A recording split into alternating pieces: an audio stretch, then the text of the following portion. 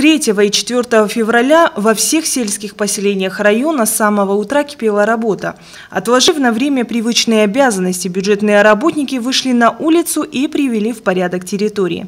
Дружно разобрав рабочий инвентарь, сотрудники администрации, культуры, централизованной бухгалтерии, Дю США, социальные работники провели работу по очистке территории, подмели и убрали опавшую листву, собрали мусор вдоль трасс и улиц.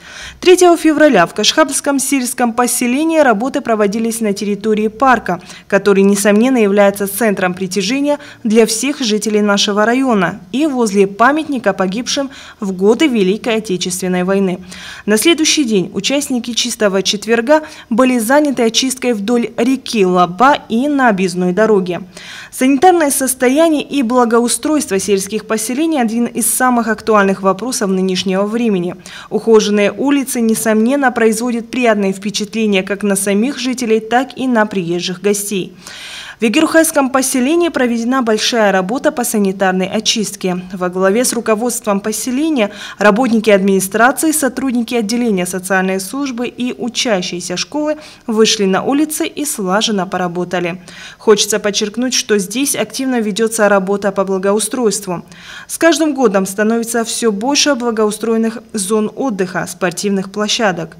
Так буквально недавно к радости детей и взрослых на территории школы появились уличные тренажеры. Под теневым навесом установлено 12, а рядом 8 уличных тренажеров для различных групп мышц.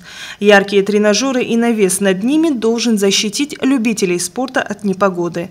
Следует отметить, что жители аула и учащиеся школы номер 3 часто используют школьный двор и спортивную площадку для того, чтобы провести время с пользой для здоровья на свежем воздухе. Установка данной спортивной площадки стала возможной благодаря помощи помощи нашего земляка, депутата Государственной Думы, члена фракции «Единая Россия» Мурата Хасанова. Школьники первыми испытали все возможности площадки, потому впечатлению, которое она произвела, понятно, пустовать тренажеры не будут никогда.